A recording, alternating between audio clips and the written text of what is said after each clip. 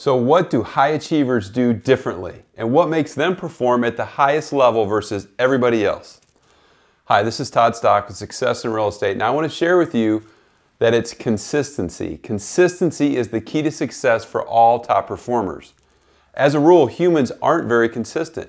You always hear people saying, I need to be more consistent. Why aren't they more consistent? It's because they're not confident. You'll consistently do the things that you're confident in. Confidence comes from practice, nothing more, nothing less. High achievers practice. This also leads to the question why don't we practice? Because we aren't clear on the activities we need to be confident in. The three C's clarity, confidence, and consistency. It's like the three rungs of a ladder.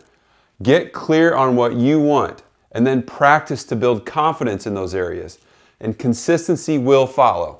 So call me and let's talk about the business of your dreams and how you can get there.